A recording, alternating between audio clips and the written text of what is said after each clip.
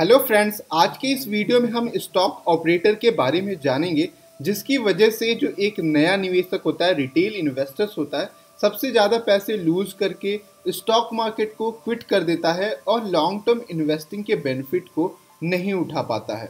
जैसे कि इस स्टॉक में हुआ है वन लाइफ कैपिटल एडवाइजर आप देखिए इसके स्टॉक में एक सीरीज़ के रूप में स्टॉक के प्राइसेस बढ़े हैं और फिर जब स्टॉक में गिरावट हुआ है तो किसी को भी एग्जिट करने का भी टाइम नहीं मिला है।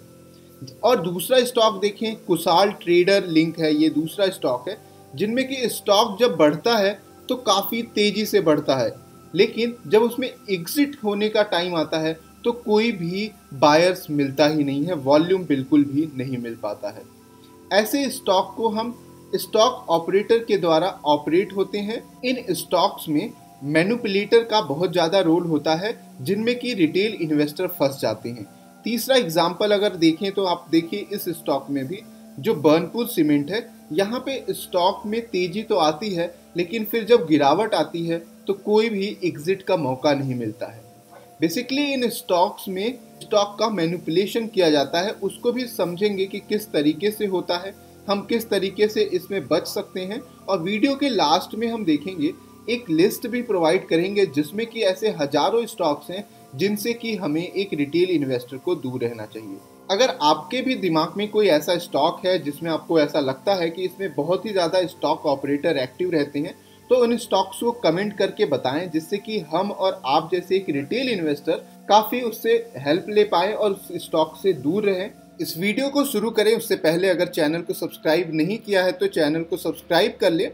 चलिए जानते हैं कि ऑपरेटर्स होते कौन हैं। ऑपरेटर्स मार्केट के पार्टिसिपेंट्स ही होते हैं, ये कोई आउटसाइडर नहीं होते।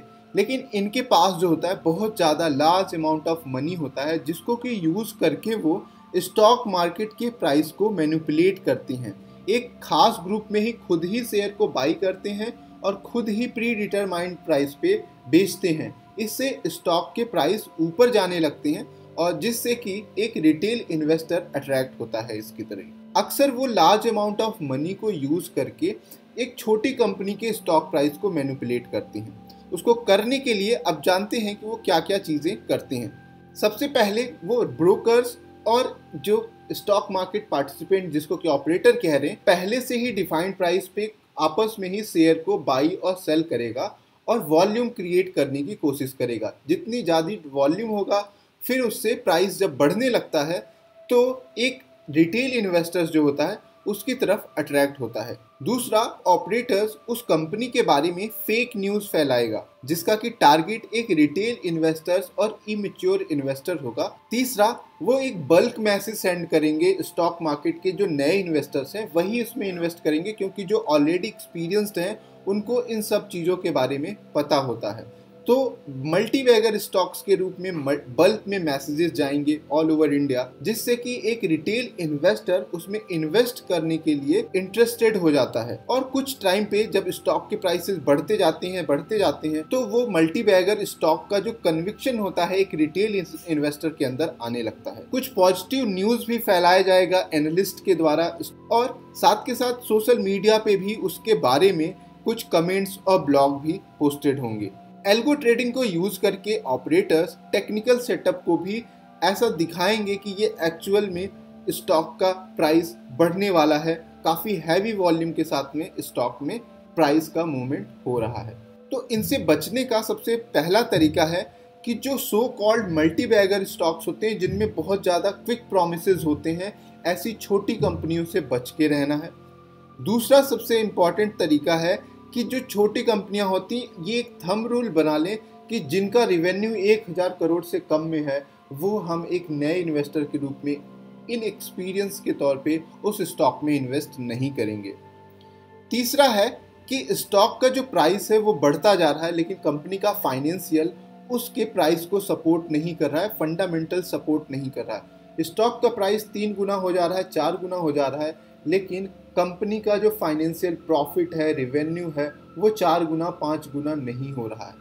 तो इससे आपको अलर्ट हो जाना चाहिए कि ये स्टॉक में मैनिपुलेशन हो रहा है तो ऐसे स्टॉक्स में एंट्री नहीं लेना है, जिनके की फाइनेंशियल परफॉर्मेंस इम्प्रूवमेंट ना हो, जिनकी लाइबिलिटी ना कम हो रही हो, जिनके प्रॉफिट में उतना इंक्रीमेंट ना हो रहा हो, जितना कि स्टॉक प्राइस बढ़ रहे हैं। और चौथा है कि अगर आपको इन स्टॉक से बचना है, ऐसे स्टॉक से तो आप निफ्टी फिफ्टी और निफ्टी नेक्स्ट फिफ्टी, इन हंड्रेड स्टॉक्स में ट्रेड करें।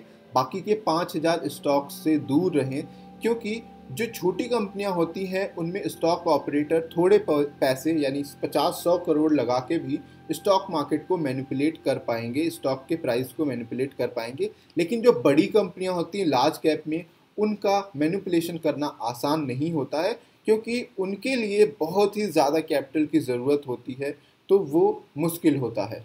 तो इनसे बचने का यही तरीका है कि आप जो है उन स्टॉक से दूर रखें। इस वीडियो के डिस्क्रिप्शन में मैं आपको एक लिंक दे दूँगा, जिसमें कि हज़ार कंपनी के लिस्ट हैं, जिनमें कि स्टॉक ऑपरेटर काफ़ी ज़्यादा एक्टिव रहते हैं। Thank you for watching this video. अगर वीडियो पसंद आया है तो लाइक ज़रूर करें।